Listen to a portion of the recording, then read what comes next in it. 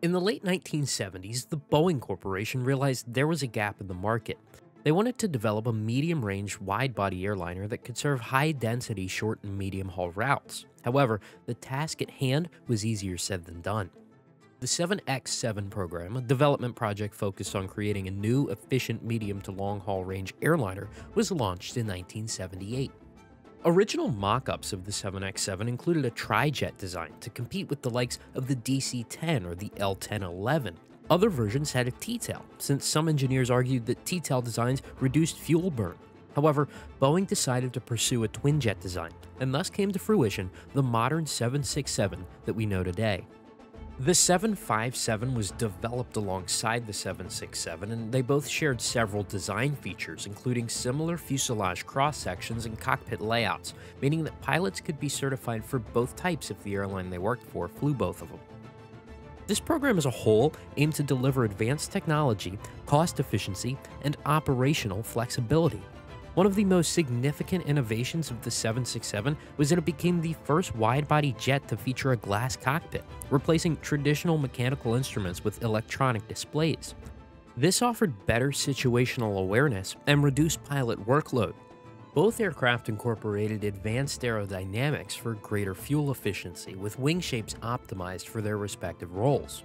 The 757 had a more slender wing compared to the 767's wider, more powerful wings, which they were designed to support the increased capacity and range of the 767.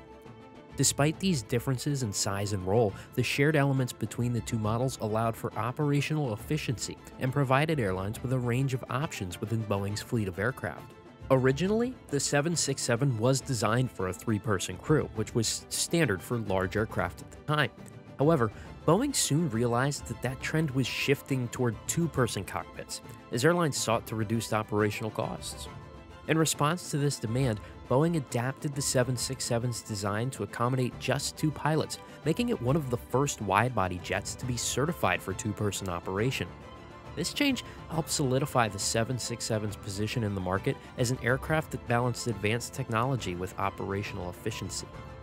The 767 was, like the 757, built with versatility in mind. The ability to operate at smaller airports with shorter runways was not only limited to the 757 program, as the idea was incorporated into the 767 as well. Initial developments of the 767 didn't focus on the ability for transatlantic crossings, but this feature was something that would come into play later when the ETOPS regulations were further amended. The first 767 registered as N767BA took to the skies for the first time on September 26, 1981, and completed a seamless test flight without any complications or issues. After completing further tests, the 767-200 was certified for commercial use in July of 1982 and entered passenger service with United Airlines on September 8, 1982.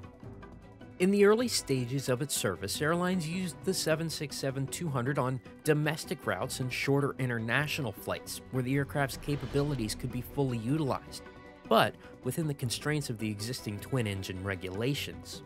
The 767-200 was ideal for high-demand routes like New York to California or Chicago to Miami, where its fuel efficiency, wide-body design, and comfort provided significant operational advantages over older, less efficient aircraft like the DC-10. In 1984, Boeing introduced the 767-200ER, and shortly thereafter, the FAA introduced ETOPS 120, clearing the way for twin-engine over-water operations. The ER version of the 767-200 had a range of 4,600 nautical miles compared to that of the 767-200's 3,850 nautical miles. The ER featured increased fuel capacity, a refined wing to reduce fuel burn, and fine-tuned engines.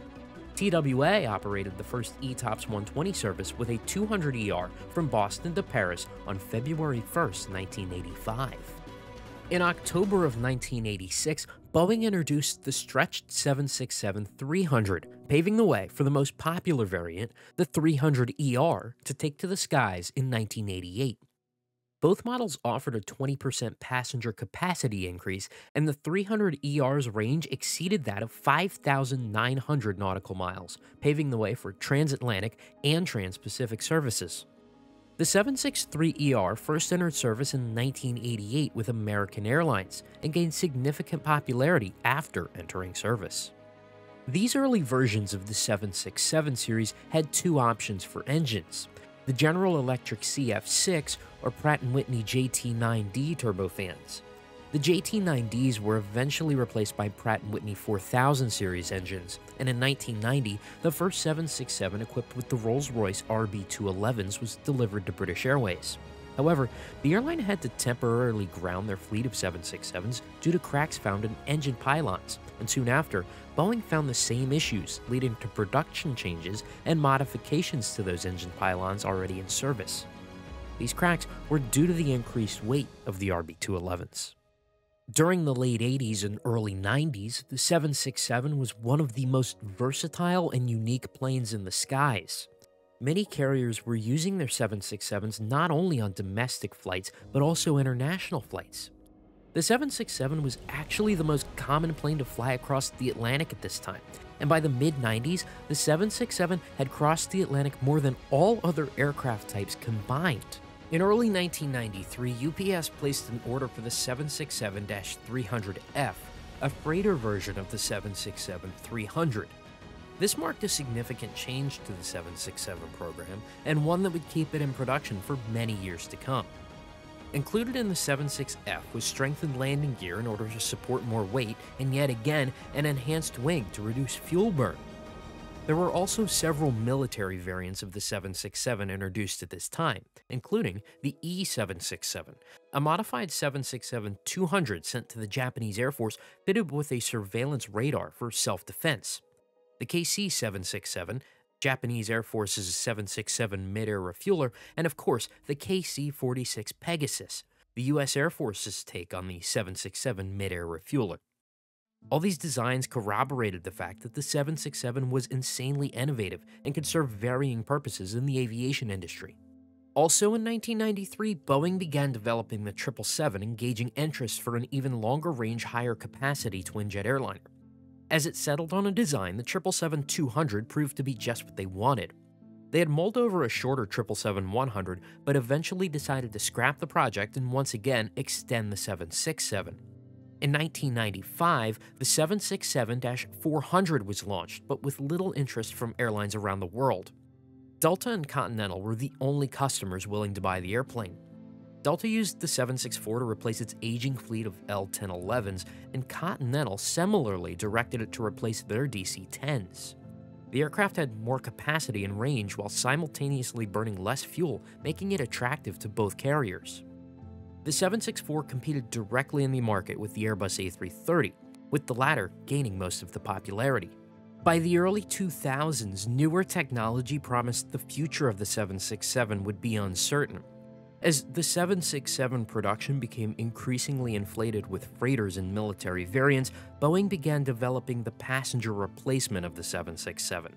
Later becoming known as the 787, the commencement of this program marked the end of passenger 767 production. The last passenger 767 was delivered to ANA in 2011, but interest in freighters remained high. In 2007, DHL and UPS combined to place 33 orders for the 76F. In 2011, FedEx ordered 27 76Fs to replace their DC 10s.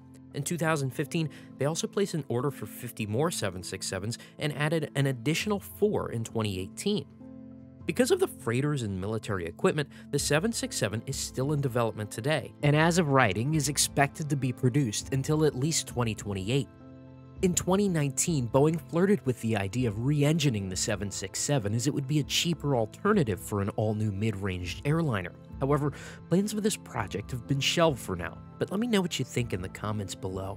Should the 767 program be reignited instead of Boeing developing a new airliner? Also, don't forget to tell me your favorite memories on board a 767. Don't forget to check out my recent trip report on board a Delta Airlines 767 that I took in November.